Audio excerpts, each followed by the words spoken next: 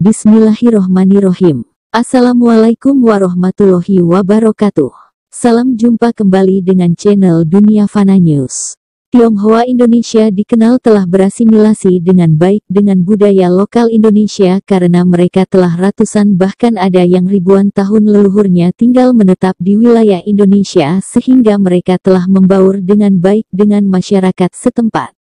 Ciri khas Tionghoa Indonesia selain pandai berbahasa Indonesia tapi juga berbahasa daerah atau lokal di mana mereka tinggal dan jarang yang berbahasa Tionghoa, mereka juga memakai nama Indonesia atau nama lokal di mana mereka tinggal dan jarang menggunakan nama khas Tionghoa.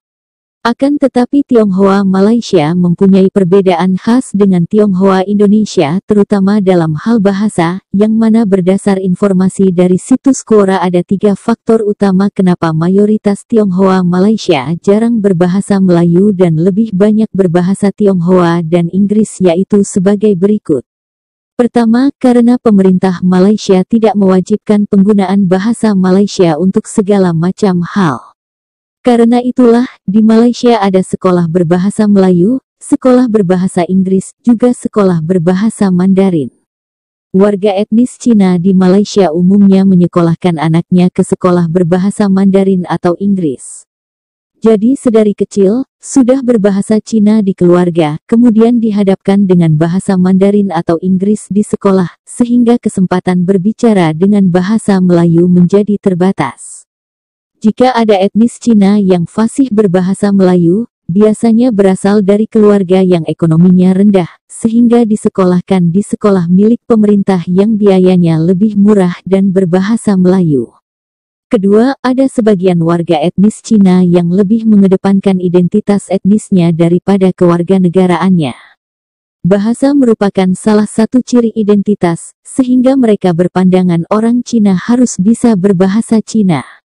Yang berpandangan begini biasanya orang-orang dari generasi tua. Mereka biasanya tidak suka jika melihat sesama Cina ngobrol dengan bahasa yang bukan Cina. Ketiga, karena pergaulan. Warga etnis Cina di Malaysia memang tidak bermasalah bergaul dengan etnis Melayu, India, Dayak, ataupun yang lain. Namun tanpa disadari, mayoritas pergaulan mereka adalah dengan sesama Cina karena kemudahan bahasa serta kesamaan budaya.